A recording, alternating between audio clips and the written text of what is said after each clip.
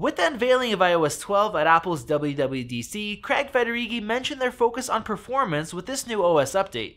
They made some big speed improvement claims, such as some apps launching twice as fast and CPU ramp up speed increasing across not just older devices, but also newer ones as well. Typically, with each new iOS release, Apple drops the oldest generation devices, but not this year. If your device supports iOS 11, that means you'll be able to run iOS 12. That's going all the way back to the iPhone 5S and iPad mini 2. We pitted Apple's flagship running iOS 11 against one running the first developer beta of iOS 12, but for this one we wanted to see how much of an improvement we'll get with older devices. We don't own a 5S, which is the oldest iPhone that's going to support iOS 12, so for this test we used the iPhone 6 along with the oldest tablet to support iOS 12, which is the iPad mini 2. The Mini 2 does use the same A7 processor as the 5S, so that could be an indication of performance improvements. Launching the iPad mini 2, iOS 12 launches about 2 seconds quicker.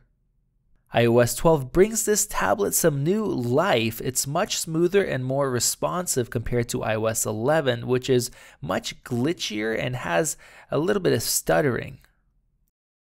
Opening up the camera app, the speeds are right about the same. Launching Geekbench 4 took about the same amount of time, and we started off with the CPU test. The results were quite similar, with iOS 12 slightly ahead in the multi-core score, but not enough to make a difference. The graphics score was also very close at a very low 591 with iOS 12.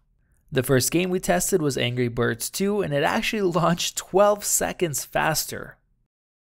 The next game was Pokemon Go, which took about the same amount of time, which was a shocking 39 seconds. Asphalt 8 was our last game, which did take about the same amount of time, but we do see a little bit more responsiveness with iOS 12 as soon as we hit the icon.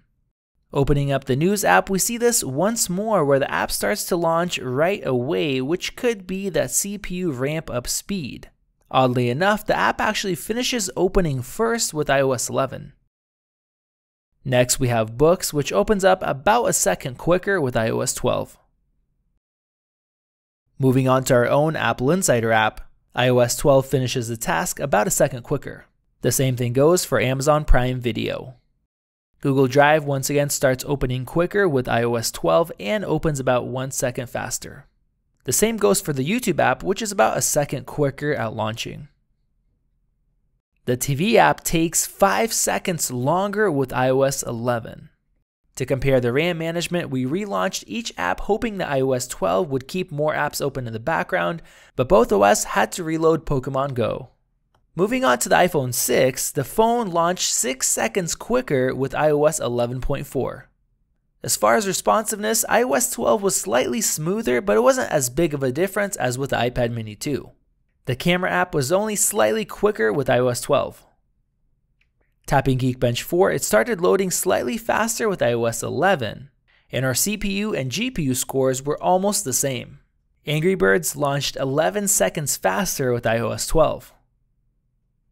Tapping Pokemon Go, the app started loading almost instantly with iOS 12, whereas with iOS 11, I almost thought that I didn't hit it because of the delay.